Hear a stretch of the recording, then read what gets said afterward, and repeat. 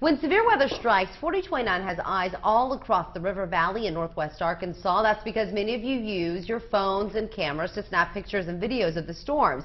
Tonight we look back on some of the best pictures you sent in to uLocal. It's the calm before the storm. Check out this amazing view from Centerton. You can see heavy clouds covering most of our area.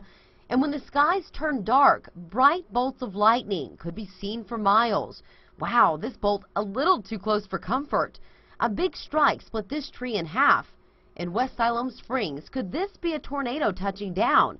At least one viewer thinks so. And check out this one from Broken Arrow. This was a confirmed EF2 tornado. And these clouds brought something else dangerous, flooding to Scott County. This creek is overflowing and it proved deadly after sweeping several people away.